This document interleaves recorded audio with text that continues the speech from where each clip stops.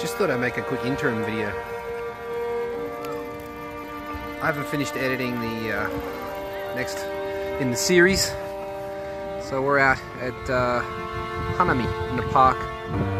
Hanami is uh, cherry blossom watching.